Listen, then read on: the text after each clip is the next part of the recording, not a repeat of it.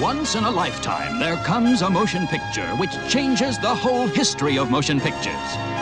A picture so stunning in its effect, so vast in its impact, that it profoundly affects the lives of all who see it. One such film is... Very good, thank you. Yes, thank you. Next, please.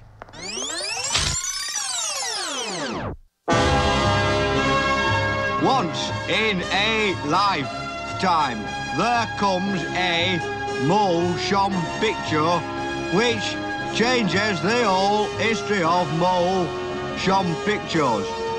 Uh, Yes, thank you. Next. Once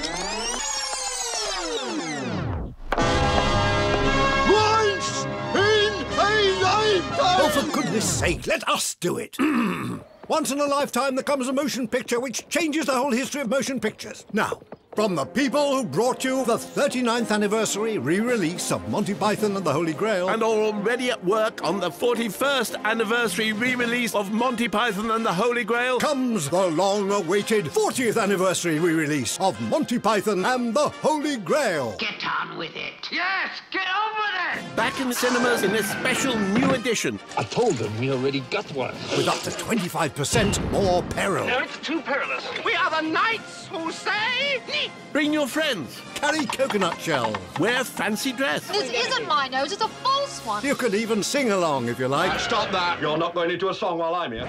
See it again for the first time on the big screen. Your mother was a hamster and your father smelt of elderberry. Or if you've never seen it, see it now for the first time.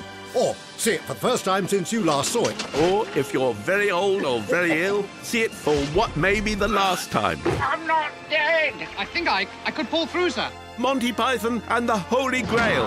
Back in cinemas for the first time since the last time. God be praised.